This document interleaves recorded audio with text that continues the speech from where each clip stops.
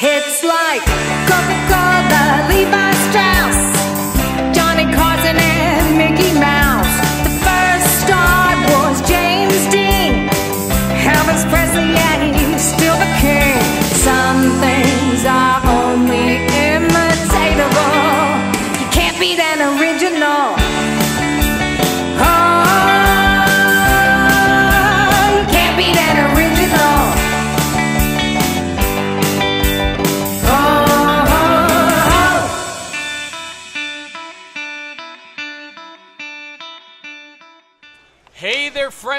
foes! Welcome to a very special edition of Back of the Cereal Box with me, Johnny, and George Beuhler. Good morning, campers. Bueller, Bueller, Bueller. I haven't heard that before. Never? What, what movie are you talking about?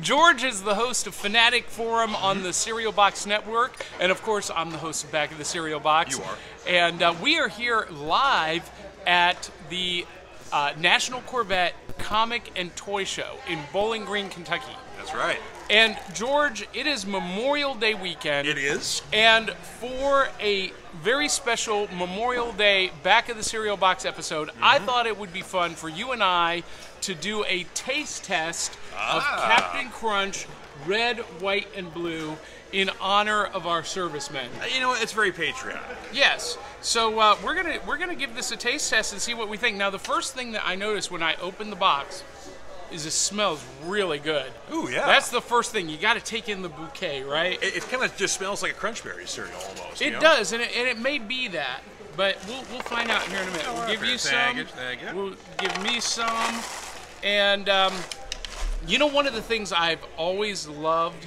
about um, Captain Crunch is that Captain Crunch still has cool games and puzzles and stuff on the back of the cereal box. That's true. It does. And on this one, we've got a camping Mad Lib, and we will we will play that Mad Lib in a bit. So, um, Captain Crunch, red, white, and blue. Here we go. Let's give it a taste test and see what we think. Very nice. Yeah. Yeah. Oh. Totally tastes like crunch berries. See, this this tastes different than what I expected, though. Well, there's a little more pronounced fruit in there. Like Well, there's from a little something extra in there. from the smell, I, I from the um, bouquet, I really anticipated this to taste more like fruit, but I definitely taste the Captain Crunch flavor Yeah. too. So, I guess this is basically um, just reformatted Captain Crunch with crunch berries. Yeah, but almost got a little more fruit flavor in there. Like it's, there's, there's something that's a little, little fruitier that's not quite Crunchberries. It's a little something different. So, so they, they are bringing something a little original to the table if you are a crunch connoisseur. Now, here's what I gotta ask. So, everyone tells me that Captain Crunch tears up the roof of your mouth. I've never experienced that. Have you? Um, no, because uh, I have a uh, roof of my mouth that is made of uh, very firm skin, apparently. So I've never had this issue. Now, of course, I always say if you, you know, find yourself, you know, being, you know, tortured by Captain Crunch, but you still enjoy it, I always recommend an old-fashioned King Vitamin if you can still find it. So, King Vitamin is delicious, and you know they just reissued um, Quisp, mm-hmm. And I finished I have off. some in my uh, cereal box. cabinet. Yeah, I finished off the last of my Quisp this week, and I was trying to figure out what Quisp tastes like because I thought it tasted a little bit like Captain Crunch, made by the same company, Quaker Oats. Same with King Vitamin. A lot lighter, though. It is, and and I finally figured it out that what I'm tasting is the malt. Yeah. Because it's a malted rice cereal, and um, you can taste that malt flavor, which I actually really love. Mm-hmm. I really love. This is this is this is respectable. This is pretty good. I like This is good. You know, I always thought they brought Quisp back on numerous occasions. They haven't brought Quake back. I mean, it's, it, why not? They're like they were always the companion cereals. They always would do like you know competing commercials. Quisp is better than Quake, and you know all that kind of stuff. Well, and you remember those commercials? Yeah. They, they were actually um, short cartoon episodes. Right, okay. They were made by the same guys that did Rocky and Bullwinkle. yeah, And I've never had Quake. I've never had Quake. I never have either. and I would love to try Quake. I'd love to know what Quake tastes like. You know, the thing was, I always kind of heard they were very similar. That's kind of why they got rid of Quake and just kept Quisp, because it was the more popular cereal. But apparently they were very similar in nature, so I don't know. Hmm. Either way, though, yeah. But this is very. I, I'm a, I'm a fan of this. I normally like Captain Crunch and especially Crunch Berries, and frankly, I kind of miss when it was just all just the red Crunch Berries. I, I, you know, I was like, I know we've got the multicolored Crunch Berries now, but I always kind of just like it with just the red Crunch Berries. And what we get? Oops, oh, I'm sorry. I got things over here. And race a Hot Wheel, win a prize. Okay, so you get to race a Hot Wheel, and so come around this side. Come around here. pick pick your car. You've got Harley Quinn. You've got uh, who is this? This is uh, just a generic. You got the Batmobile, uh, Gotham PD, or the Joker. George, you pick one that you want to race. Uh, let's see here. Well, I'll let our I'll let our guest pick first here. I'll go for the center. All right, gonna go for the Batmobile. I'm going for Gotham PD there because you got to represent. All right, all right. So go ahead and uh, let's take the other three off. And uh, I think the lever is right here. So our our uh, you ready? On your mark, Ready on your mark. Get, get set, set, go. go. Oh, Which one won? I think we had a tie. Really? I, I, I, I No, two. oh, number two. Oh, that was you. Okay. The Batmobile won. That means you get to pick anything from the table. He won the Star Wars Millennium Falcon book. How cool is that? Awesome! that was a lot of fun. This, that's a little bit of what we do when we're live here. It's a live action vendor booth. And, We're um, interactive, folks. That's right. So, George, I- I've got to ask you a question. Yes, sir. So, a couple of weeks ago, Mm-hmm. I, I mentioned to my co hosts, I, I mentioned Brach's Bridge Mix candy. Yep. And they had no idea what I was talking about.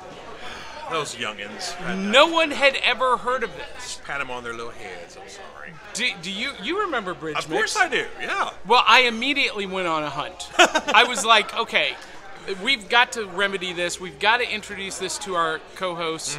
And lo and behold, Brach's doesn't make it anymore.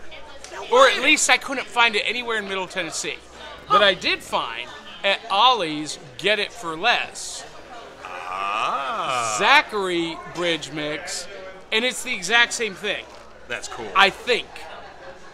I- we're about how- to how find How out. could you vary from Bridge Mix? I mean, you I know, I know. I'm like, it's Kind of a universal recipe, I would think. how, how do you not know what bridge mix is? And and so here's what we're gonna do. We're, we're gonna we're gonna try some Zachary bridge mix. Far out. And and George is gonna go home 200 pounds heavier this weekend. This is a cheat day for me, so you know I just I can't eat the whole thing, but a couple bites here and there ain't gonna hurt. So dark dark and milk chocolate, covered almonds and mm. raisins. Yum. That's exactly what I remember. Yep. However, here was the thing. Did you ever play this game when you were a kid? Avoid the raisins? No, No, you like the raisins. I love raisins. Yeah. See, I like raisins, but not raisins and chocolate. Oh, okay. Okay. So I was always playing this try not to get the raisins. I didn't have that problem because you know raisins are uh, nature's candy. Yeah, yeah. yeah, there you go. you don't care. Now, one of these one of these is supposed to be a cream. I haven't come across that one yet. Hmm, that one, that one. The big ones. There's a caramel one there. That was good. My first one was a raisin one. So see, I got what I want. I can't get what I can. I'm done, folks. This is this is phenomenal. Yeah. And you know, my, my wife was like, "Oh, that's an old person's candy." I'm like, "No, it is not. Chocolate, nuts, and raisins? I mean, yes, it is a classic candy, but it's not specifically for old people. No. Anybody can eat it. Yeah. Young ones, old ones, doesn't matter. So, if you want bridge mix, Ollie's has it. There you go. Zachary's bridge mix. It tastes exactly like Brach's. It does, yeah. And I'm gonna be willing to bet. I'm gonna be willing to bet a hundred dollars that Zachary is actually owned by Brach's. You're, you're probably right. It's like a subsidiary. Yeah. Yeah. Yeah. Yeah. And they, they manufacture this specifically for the, you know, Dollar Tree, Ollie's, and whatnot. Yeah. So, So um, it's still alive and well, folks. it is. now, George, one of the things we do every Saturday morning Mm-hmm. on Back of the Cereal Box is reach in to the box of cereal, just like we did when we were kids, Ah. and pull out the prize inside. And this morning, Okay. I'm going to reach in and I've got the Marvel Legends Black Widow. Oh wow. I got this here at the convention, and this was something I've been on the hunt for for a while. Yeah. I definitely need this on my Marvel Legends shelf. So super excited about this. Uh, the price was right. He had it marked at only uh, 25 bucks. And you're a comics fan, so I you am. you probably remember this era of the Avengers. Basically, this is when Black Widow was in charge of the Avengers. That's she right. was the chairman. Uh, I love the leather jacket look, the kind of early '90s era of Avengers. So, yeah, that is really cool. Yeah, she was the uh, leader, and then um, Black Knight, Sersi, Crystal, and Hercules, and the Vision was the team, and sometimes Hank Pym would come in, and Captain America would come in. Sometimes Thor. know. Yep, and um, but they they it was written uh, by Bob Harras, Mm-hmm. and uh, the art was Steve Epting and Tom Palmer. Yeah. and um, I loved loved this era of the Avengers. This That's was cool. This was a period where I was literally on the edge of my seat to read the next issue every Yeah. month. I could not wait. And it's been a long time since I've really had that feeling from a comic series. So um, this is going on the Marvel Legends shelf Very in nice. the virtual rec room. I'm so so excited. And um, did you get any new loot? I did. I did get some stuff. What did you get? Show us. Well, let's see here. Hey Ben, Ben has come by. Ben Blankenship is here, one of our author friends. My new loot I got here is, uh, I, I've, you know, like I said, we've barely been here for an hour, That's and right. I've already got some comics already. So uh, let's see here, Avengers uh, 159. This one here, lovely copy of that. Got some Daredevil books here. I love this one here. This issue is written by Harlan Ellison here. And then love this Klaus Janson cover right here. That is maybe my favorite Daredevil cover. Yeah. So that's a beauty there. So yeah, and that's just you know that's just the start of it. And I'm you probably- and you got great prices on that, like I did. five, ten bucks each. Yes, and matter of fact, uh, I have the card here. Uh, all right, it's a local vendor here. Uh, the Archives. Here we go. Right here. The Archives here in Bowling Green. Uh, apparently, they're just right down the road. So I don't know. I might. Uh, I never even knew that they were here, and I, I don't live that far away. I live about 45 minutes away, yeah, I'm about an hour away myself. and yeah. um, so that might be worth a trip over to their store after the convention closes today at four. yeah, I wonder how late they're open. that's, you know what? That's a good. Uh, we've got a bunch of cereal here on the table, We do. And I've got I brought along the brand new Trix Tracks. All right. Have you have you are you a Trix fan? I mean, you know, Trix are they're okay. I mean, they are for kids. Yes. But you know, uh, I you know, I've had some Trix from time to time. This has marshmallows in it. Really? Do you want to try some? Sure. Let's give it a run. We're gonna do a Trix Tracks taste test now. You want a clean bowl? Ah, I'm still got the same bowl here. All right. All right. I, I ain't fancy. You want some uh, refreshed milk? Uh, yes, please. Yes. All right. We've got content for two weeks now. this will be great. All right, here. So Trix tracks here. All right, now we are going to try some Trix, Tracks. This is dinosaur print shaped Trix with marshmallows. Tasty. Yes. I mean, it's Trix with marshmallows. So here's my thing with Trix, okay? Mhm. Trix is fruity and delicious. Trix is for kids. Mhm. But when just before I put it in my mouth Yeah. and shoot it across the room, it smells burnt. Hmm. Do, do you experience the same thing? Wow. You were not kidding. It does smell like it's burnt. That's crazy. Now, it doesn't taste anything like that. No, it doesn't. So I wonder if that's like a you know a reaction to the milk. So like, you get a different taste when you're. There we go. I'm trying some dry here. Yep, that just in my mouth there. It is differently, definitely a different taste Yeah, signature dry it is compared to with the milk. science. I know, I know, but um, Yeah. I mean, it's not a very pronounced taste. It's very subtle, but you can taste. It tastes a little different dry. That's crazy. that is weird. you learn something new every day here, folks. See, it's all about fun and education here on Back of the Cereal Box. Yeah. Now, between the two, hmm. Captain Crunch hmm. and Trix, Right. I'm going with Captain Crunch. Uh, yeah, Captain Crunch is normally my standby if I'm going for a sweet cereal anyway, or one of my standbys. So I would pick this. I would pick that up again before I would do the Trix tricks. But this is not bad though. I like this, but not normally what I would go for, but enjoyable nonetheless. Yeah, not bad. Not bad. Now, here's what I love about this cereal is that on the back of this cereal box, it has these cutouts to make a diorama. Nice. And you don't cut them all the way out, you cut them enough to fold them up, uh-huh. and then the box becomes like a, a diorama where you can like do photos or shoot a movie or have your own adventure. there you go. I love anything that sparks creativity because, you know, that was us, right? Totally.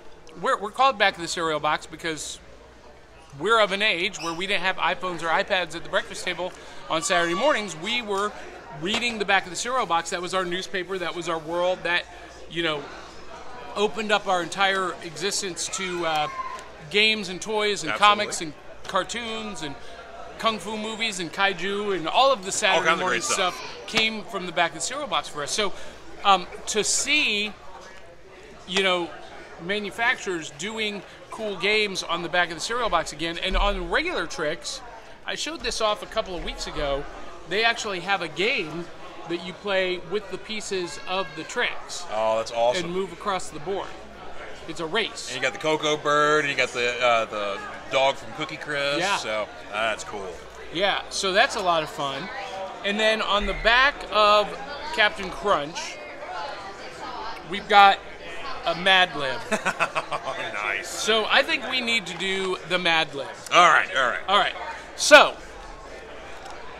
I'm going to ask you to give me the. Um, oh, you know what? It doesn't ask whether it should be a noun or a. Uh, Or a verb. literally making it up as we go along. So George, I'm not sure how we're supposed to play this Mad Lib because there's no there's no prompt for what to fill in here. I think know. I think quality control missed this. Yeah, it's like an English teacher's nightmare here. You know. So fun at fun at Camp Camp Captain Crunch. Um, fireflies make their own fireworks. How many can you find? Oh, so we're supposed to find the fireflies. Okay, so there's a two- bunch. two different Oh, games Look here. here. Look who's hiding. Oh man, that's Quisp. Right here, we got Quisp hiding in one of the tents. Oh, that's hysterical. Is Quake on there too? No. I don't see him. that's funny. We just threw a little Easter egg in there. How many things wrong can you find in 60 seconds? There's like a, you know, a, like spot that Captain Crunch has the uh, the sandals on. Anyway, so Yeah. the Mad Libs. I don't know how we fill this in. Uh, well, let's read it and let's decide. Okay. Ready for rhyme time. Oh, ri- we're supposed to rhyme. Okay. Hooray for summertime. It's so much blank. Okay, so what are we supposed to rhyme? That's it's like it- it- we're supposed to rhyme something. What are we rhyming with? Hooray for summertime. It's so much blank here at blank camp. Let's go blank in the sun. You know, we could get really naughty with this. We could, Yeah. or really frustrated at the same time because I'm, I'm more frustrated right now. trees to be and trees to be blank and blank to be one. Swimming and blank, it's fun on the blank. Blank and fireworks, we hope there's a ton. Then blank by the fire camp when it's all said and done. That one I know. there we go. Said and done. Okay, All right. maybe we work backwards. you guys, you believe we can vote? Here we go. Uh, trees to be chopped and kills to be won. There you go. That, wait, all right, that go in dark real quick. No, hang on. Maybe not. Maybe not.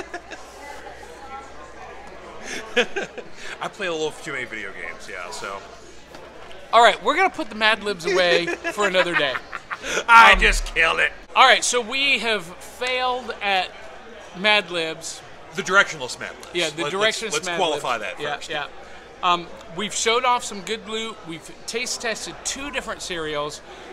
It's time to play.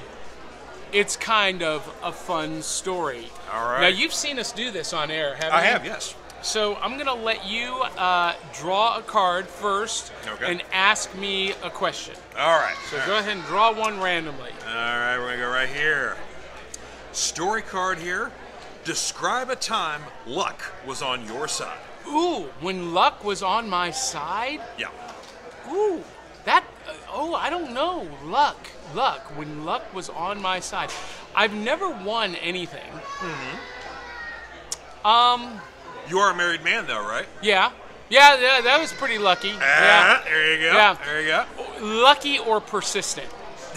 because here's the thing. I w- so the first time I asked my wife to marry me, I had this planned out. We were in New York City, Rockefeller Plaza, in front of the big golden statue of uh, Atlas with the wings, and Nice. um, you know, it was going to be a movie moment. And and I asked her to marry me, and she laughed and said, "Are you crazy? I'm not going to marry you."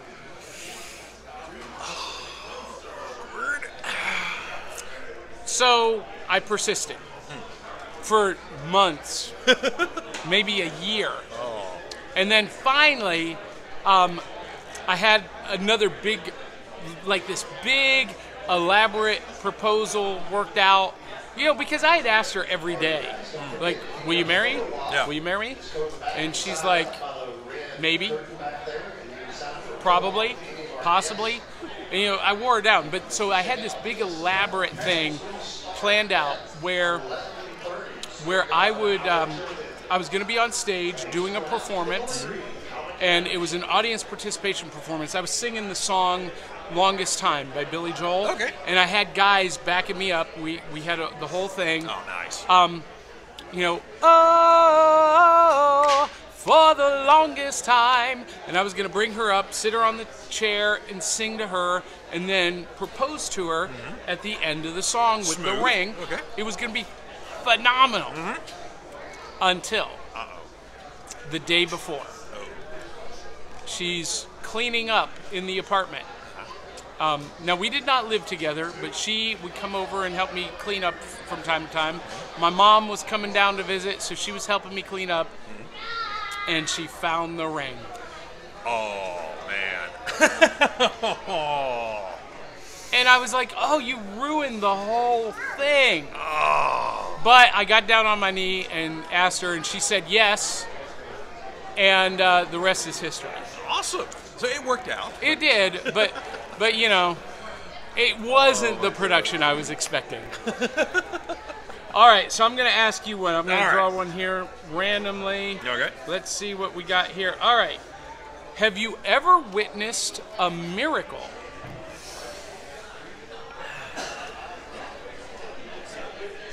I think I have. Um, Okay. whether or not this was a miracle or this was acting through, say, my own driving acumen, uh, but I was 17, 18, something like that, so still a fairly new driver at the time. Uh, I was with some friends of mine. We're driving around Louisville, Kentucky on Bardstown Road. Uh, this is on Derby Day, and driving down our side of the road, and suddenly there is a oncoming car that is in the wrong side of the road barreling right towards us. So, um, and he's not moving, not moving anywhere.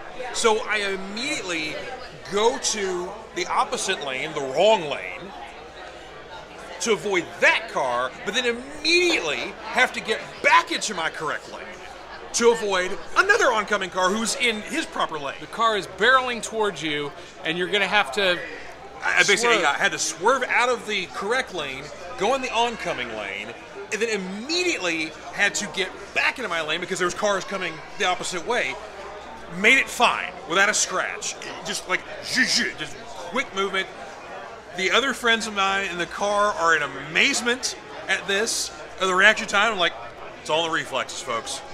All in the reflexes, like uh, Jack Burton would say. Uh, yeah, uh, we were compelled to turn around and find said car and see what the problem may have been. Uh, it turned out it was an elderly gentleman, Ah. and he was a little confused. Ah. So we called the authorities and got him some help to get back to his house. So- That's phenomenal. but yeah, that was um, that's better than a cup of coffee, folks. Let me tell you, that will wake you up. So they are not an official sponsor yet, but it's kind of a fun story. Is a fun conversation starting game. You win points for telling stories. So Yeah. you got two points, I got two points. That's right. And um, it's uh, it's a fun little game, and um, we recommend it. And uh, it's a great way to have conversations. Yeah. And um, It's not a competitive game whatsoever. No. It's just it's kind of an icebreaker, getting to know you sort of thing. Yeah, yeah, and um, there. I mean, this is like thousands of questions in this box. It's it's phenomenal. And I mean, it, it, you know, the, the content. It's not like uh, Cards Against Humanity where No. it's a little objectionable or anything like that. It can be whatever you want it to be. That's right. That's right. That's right. That's absolutely right. And uh, I love it. So, uh, well, listen. I think I need to do some work here at the convention. I'm, I'm the MC, and there's some events getting ready to start here in a few minutes that I've got to introduce at 11. So, um, anyway, uh, we're going to sign off for right now. Uh, thanks for watching this very special edition of Back of the Cereal Box from the National Corvette Comic and Toy Show. And we're going to leave you with some of the sights and sounds from the show right now. Thanks for watching. We'll catch you on the back of the cereal box. Hey there, friends and foes. I am so excited here on Back of the Cereal Box to be sitting next to a legend of stage and screen, Patrick Cronin. all right, Bowling Green, this is Martin Klebba. How you doing, Martin? Uh, we're doing great in the Corvette Museum here in uh, Bowling Green, so pretty excited about that. Hey there, guys and gals. I am here at the uh, at the uh, Corvette Comic and Toy Show with Wolfie D, professional wrestler extraordinaire. You guys may remember him. Extraordinaire? Extraordinaire. Wow. And sitting side by side with me is someone you should know. If you love Saturday morning cartoons as much as I do, this is the man, Robert Lamb. Hey there, friends and foes. This is Johnny with Back of the Cereal Box, and I am sitting here next to a WWE legend, Duke the Dumpster Droese. We are here with Hannah, who is a phenomenal cosplayer from Lexington, Kentucky. All right, ready? Spin the wheel and win a prize. Let's see what you get. This is the live action vendor booth. All right, show everybody what you picked as your prize. A Candyland Color Forms game. Oh, there you go. Phenomenal. Come on down to Hitchhiker Toys in White House, Tennessee, where we've got toys for all ages. Action figures galore like DC and Marvel characters. We've got Star Wars toys and accessories, and of course, your favorite pro wrestling action figures. Check out our huge selection of Funko Pops, along with a selection of graded Pokemon cards, vintage board games and puzzles, Hot Wheels, Matchbox cars. We've got plush toys and a great selection of Barbie and fashion toys. And if you've got some old toys laying around, bring them to us. We buy, sell, and trade, and no collection is too big or too small. Hitchhiker Toys is located conveniently at 141 Eden Way Drive, Suite A, in White House, Tennessee 37188. Turn by the subway, and we're located in the shopping center between White House Nutrition and White House Produce. You can't miss us. Hours are Tuesday through Saturday, 11 to 6, Sunday 12 to 5, and closed on Monday. Make sure to visit us at hitchhikertoys.com.